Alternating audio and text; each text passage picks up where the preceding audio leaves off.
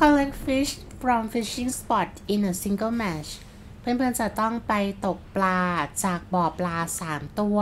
ในตาเดียวกัน บ่อปลามีหลายจุดนะคะ ทั่ว map เลยแต่ว่าไซแนะนำให้ไปจุดที่ไซปักไว้ก็ได้นะคะ เพราะว่ามันมีเบ็ดตกปลา แล้วก็มี fishing spot ที่เป็นบ่อปลาของสำคัญของ quest นี้นะคะ คนก็ไม่ค่อยมีลงเท่าไหร่ด้วยดังนั้นก็น่าจะเป็นจุดที่ง่ายในการทำ quest นี้นะคะ เวลาที่บินมานะคะ fishing spot เนี่ยสามารถเห็นได้จากตอนที่เราลอยอยู่บนฟ้าเลยนะคะ เพราะว่ามันจะเป็นจุดขาวๆ เป็นน้ำขาวๆ แล้วก็มีปลาโดดๆ อยู่ เห็นไหมคะ เป็นวงๆ ขาวๆ เนี่ย ตรงนี้ก็จะมีประมาณสัก 4-5 จุดเลยทีเดียวถือว่าเป็นจุดที่มีเยอะแล้วก็พอทำ quest นี้แน่นอนนะคะ มาลงที่ท่าเรือเลยค่ะ แล้วก็ไป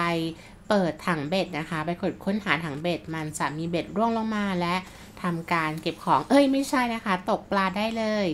ตกปลาใน fishing spot เนี่ย ข้อดีของมันก็คือว่าจะได้ปลาที่ดีๆ เช่น ปลา ที่กินแล้วเหมือนแบบติดสถานะ thermal นะคะ แล้วก็ปลา shield fish อย่างนี้ที่เป็นเกราะแล้วก็ปลาอื่นๆนะซีซันนั้นๆ ที่มันมีเอาเข้ามานะคะ ก็จะเจอของดีกว่า แล้วก็ถ้าเจอเป็นอาวุธเนี่ยก็จะเป็นอาวุธที่สีค่อนข้างดีหน่อยนะคะ แต่ว่าถ้าเพื่อนๆไปตกที่ฟิชเออ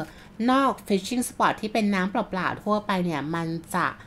มีโอกาสที่จะเจอขยะ เจอแต่กระสุนหรือว่าบิวอะไรพวกนี้ซึ่งไม่ค่อยดีเท่าไหร่นะคะ ดังนั้นก็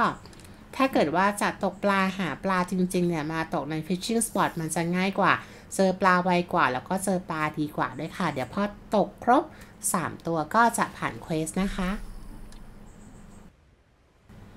อย่าลืมนะคะว่าจะต้องตกทั้งหมด 3 ตัวจาก fishing spot ในตาเดียวกัน อะเดี๋ยวขออีกตัวนึงโอเคค่ะ ก็ผ่านแล้วนะคะสำหรับตัวนี้ ตกแล้วอย่าลืมเก็บนะ พอเก็บเข้าตัวปุ๊บ ก็จะขึ้นว่าผ่าน quest เลยค่ะ